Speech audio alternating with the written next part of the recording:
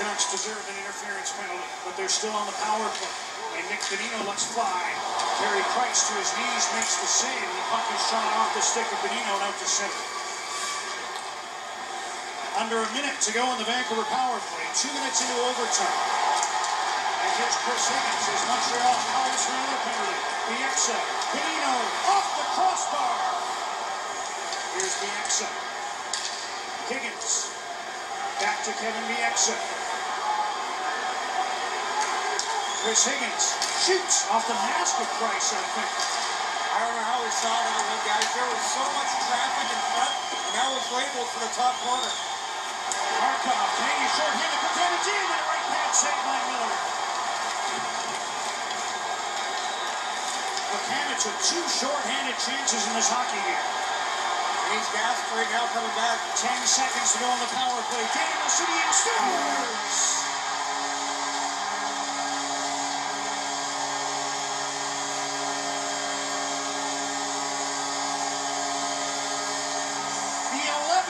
overtime goal in the history in the career of Daniel Sedin. And the Canucks, after surrendering a 2-0 third period lead, win it 3-2 in overtime.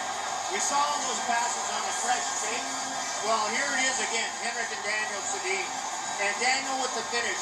Top speed, in on Carey Price, and he doesn't pull it all the way across. Jason, he gets Carey Price to stay in the middle, and it gives him a little room blocker side. Oh, his hands are so quick. And you look at Mechanics on the back check. He's gassed after a long shift.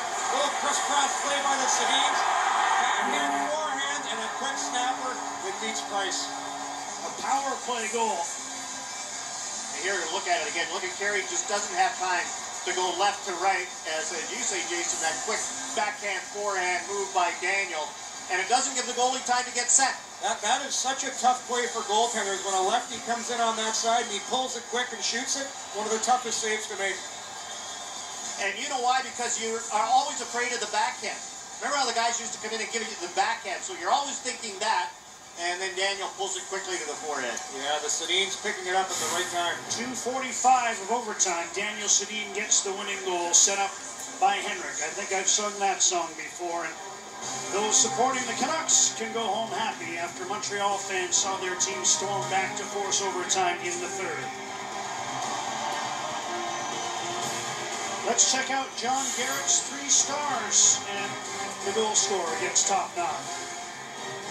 Well, Max Pacioretty had a good game, tied it up for the Montreal Canadiens. Nick Bonino was a force this entire game, and Daniel Sedin with the game winner on the power play.